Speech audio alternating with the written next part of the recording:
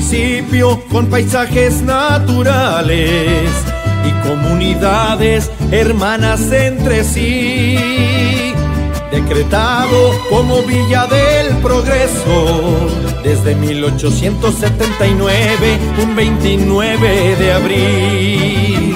Apetatitlán significa sobresfera de agua y desarrollaba industria, comercio y porvenir.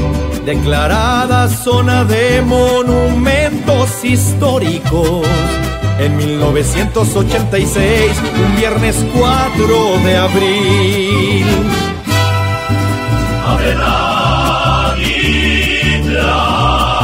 Es gente que progresa, que nunca se raja y que sabe trabajar.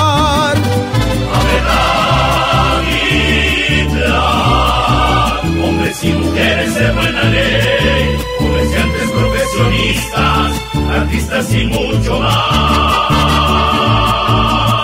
Eso es Apetatitlán de Antonio Carvajal.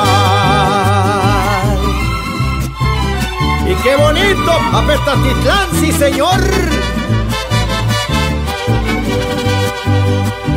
Riqueza en la historia de sus pueblos, Tlatempan donde hay talleres donde hacen máscaras de carnaval.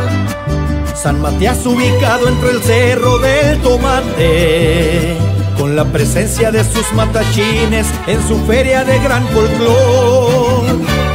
Tecolotla, pueblo nuevo en desarrollo, Elena Tzitzimititlán lleno de gente, noble a carta cabal. Conjunto la belleza de estos pueblos hoy dan forma a un municipio que sabe brillar.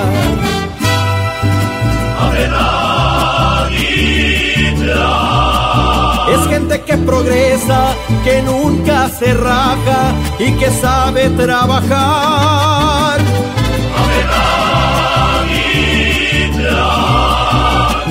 Y mujeres de buena ley, comerciantes profesionistas, artistas y mucho más.